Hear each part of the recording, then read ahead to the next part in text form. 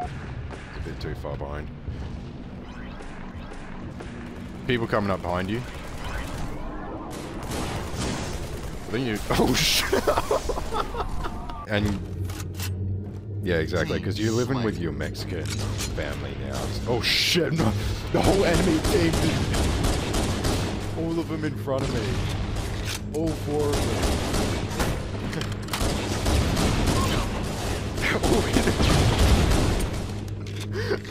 Alright, bye. he survived.